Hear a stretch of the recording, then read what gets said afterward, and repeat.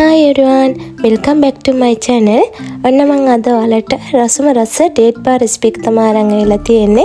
අවුරුදු සමයත් ලං වෙන නිසා ඔයාලට අමුත්තන්ට සංග්‍රහ කරන්න නෑ. ගෙවල් වලට අරන් යන්න. මේ රෙසිපි එක ගොඩාක් ප්‍රයෝජනවත් වෙයි. හරි එහෙනම් අපි යමු වීඩියෝ එකට. කොයි විදිහටද ඩේට් බා හරියටම හදන්නේ කියලා බලන්න.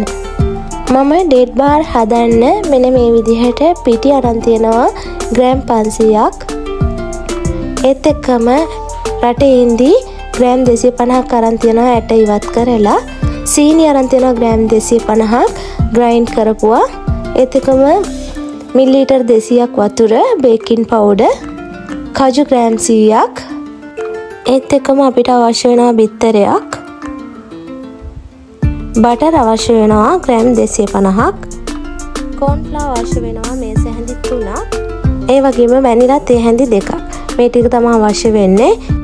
ඊළඟට මම පෑන් එකට මෙන්න මේ විදිහට රටින්දි ටික එකතු කරගන්නවා ඒකටම සීනි මේ සෑඳි දෙකක් විතර එකතු කරලා ඔයාලට මම පෙන්නපු මිල්ලිටර් දෙසියක වතුර ප්‍රමාණයක් පෙන්වා ඒ ටික මෙන්න මේ විදිහට එකතු කරගන්නවා පෑන් එකටම එකතු කරලා මේක හොඳට අපිට පේස්ට් එකක් වගේ හදලා ගන්න තමයි තියෙන්නේ.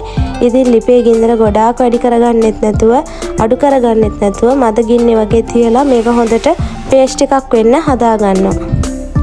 රටඉන්දීක ටිකක් තැම්බීගෙන වගේ එත්ති වතුර චුට්ටක් හිඳීගෙන වගේ එද්දි තමා අපි කජු එක මේකට එකතු කරගන්නේ. අතරින් පතරින් ආලා ෆෝන් එක්කුත් දකින ඇති වීඩියෝ එකක් කරනවා. ඒ අපේ නංගේ එයත් ටික්ටොක් එකකවන්ට එකක් තියෙනවා සහිර කියලා. ආලට එයාගේ කවුන්් එකට ගියත් බලාගන්න පුළුවන් එයාගේ වීඩියෝස් හරිම මෝටිවේෂන් වීඩියෝස් දානවා ආලා බලාගන්න. ඉතින් අපි දෙන්නම එක තෙලා තව මේ වීඩිය එක කරන්නේ. ඊළඟට මම පිටි අරන්තියන මෙතන ග්‍රෑම් පන්සීයක් ඊට පස්සේ ඒකට එකතු කරනවා කෝන්ෆ්ලා මේස් හැඳි තුනක්. ඒත් එක්කම බේකින් පවුඩ බේකින් පවුඩ එකතු කරගන්නවා එක ටේබල් ස්පූන් එකක්.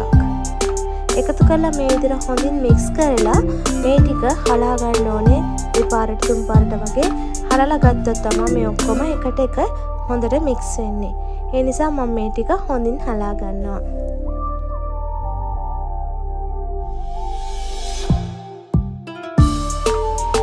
ඊළඟට මම බට ටික මේ වගේ භාජනයකට එකතු කර ගන්නවා සාමාන්‍ය බට එක කාම රෝෂ්ණත්වය තියෙන්න ඕනේ. ඊළඟට ක්‍රයින් කරගත්තු සීනි ටිකත් මම මේ වගේ බට එකත් එක්කම එකතු කර ගන්නවා ඊට පස්සේ මේ ටික හොඳින් මික්ස් කරගන්න මං මේක හයි ස්පීඩ් තියලා හොඳින් බීට් කරගන්නවා. සීනි කැට වගේ තියෙනවා නම් ඒ ටික දිය වෙනකම්ම හොඳින් බීට් කරගන්නවා. මේ විදිහට බටරුයි සීනි හොඳින් බීට් වුණාට පස්සේ මම මේකට එකතු කරගන්නවා බිත්තරයක්. බිත්තරෙත් එකතු කරලා හොඳින් බීට් කරගන්න ඕනේ.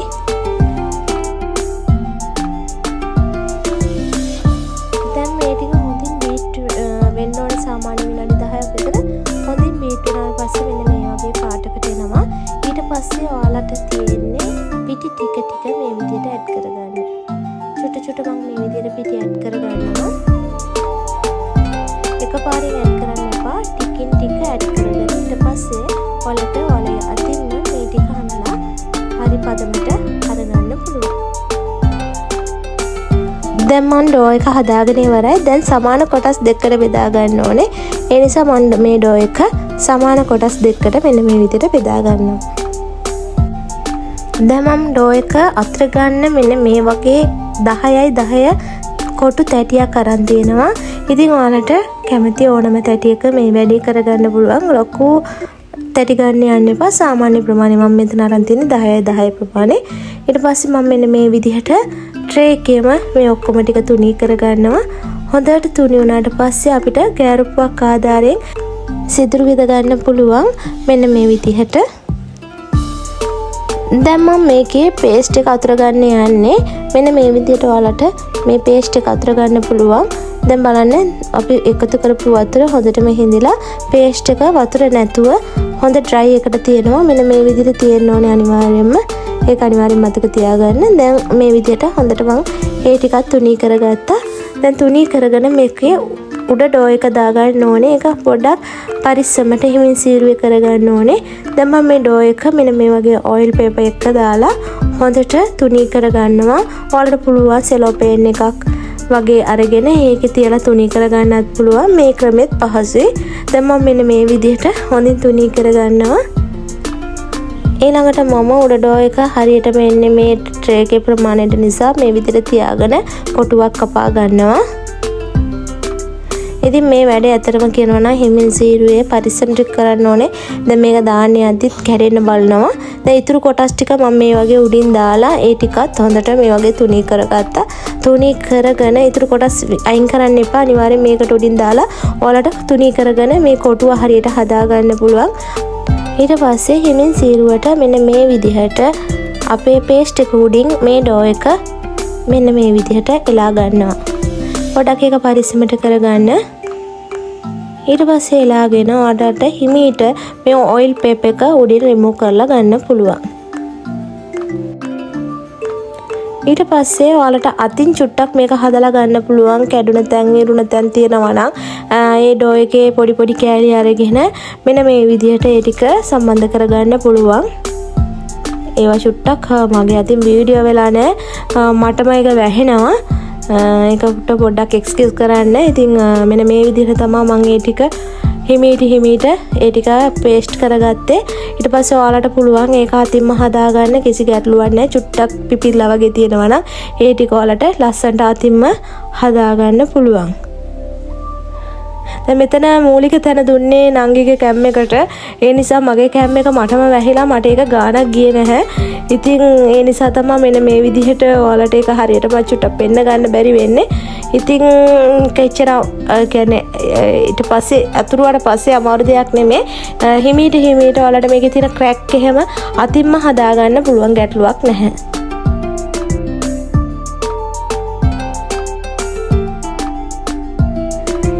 දැම් මේක මං හිමීට අතිම ලස්සට ක්‍රැකයක්වත් නැතුව හදාගත්තා. ඉති ඔලටත් මේ විදිට හදාගන්න පුළුවන්. ඊළඟට අපිට තියෙන්නේ එක් ගොෂ් කරන්න. ඉතිං මෙන්න මේ විදියට හිමීට ඔලට මේකට චුටක් එක් ගොෂ් කරන්න කලින් බිත්තරයට කිරි ටිකක් ඇඩ් කරලාම එක් ගොෂ් කරන්න පුළ මමනං නිකම බිත්තරයක් මරගත්තා. ඊට පස්සේ මෙන්න මේ විදිහට හොඳින් එක් ගොෂ් කරලා ඊට උඩින් තල ඇට ටිකක් ඔලගව තියෙනවා නම් තල ඇට එකතු කරන්න පුළුවන්. නැත්තම් ගැටලුවක් නැහැ. ඔලට නිකම්ම මේ ටික බේක් කල්ලා ගන්න පුළුවන්. ඊළඟට මම මේක සෙල්සි සංසක එකසිය අසුවට විනාඩි තිහක් බේක් කරලා ගන්න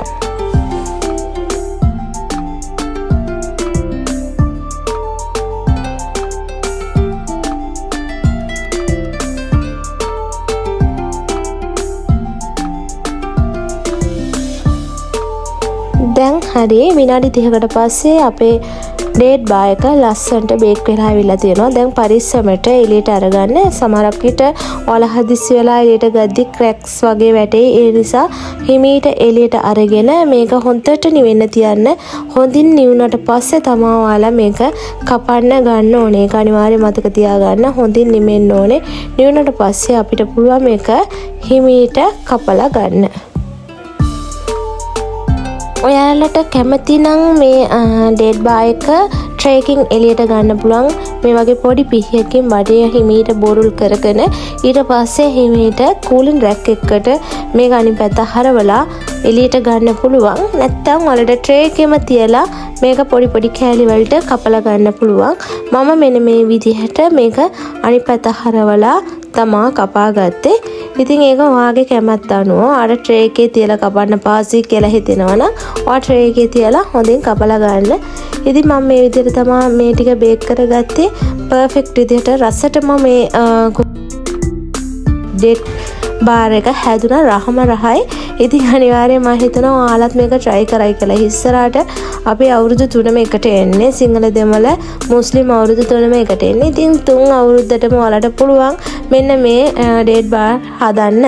ඉතින් හදලා ඔයාලට පුළුවන් අමුත්තට සංග්‍රහ කරන්න. නැතන් නෑද ගෙදරකට යනවා නම් අරන් යන්න පුළුවන්. නැත්තම් ඔයාලට ගෙදර තියාගෙන කෑමට ගන්නත් පුළුවන්. ඉතින් එනිසා ඔයාලා කැමති විදිහට මේක කපා ගන්න පුළුවන්. ලොකු හැඩයට උනත් කුඩා හැඩයට උනත් ඒක වාගේ කැමත් අනුව කපලා ගන්න පුළුවන්. ඉතින් මෙන්න මේ විදිහට තමා අපේ රසම රස ඩේට් බාර එක හැදෙන්නේ. ඔයාලත් මේක ට්‍රයි කරලා අනිවාර්යෙන් මට කමෙන්ට් එකක් දාගෙන යන්නත් අමතක කරන්න එපා. ඉතින් බලන්න මෙන්න මේ විදිහට තමා අපි කුකින් බාය එක හැදුවට පස්සේ ඇතුළ පේන විදිය. මේ ඩේට් බා එක කාලා තියෙන අය නම් රස දන්නවා ඇත්තටම ගෙනන රස නම් නියමටම නියමයි මාරම රහයි ඉතින් හරි මෙච්චරයි. අදට වීඩියෝ එක තවත් ලස්සන වීඩියෝ එකකින් හමු වෙනකම් ආලා හැමෝටම සුබ දවසක් කියලා ප්‍රාර්ථනා කරනවා. Okay guys like comment and share my videos. Thanks for watching.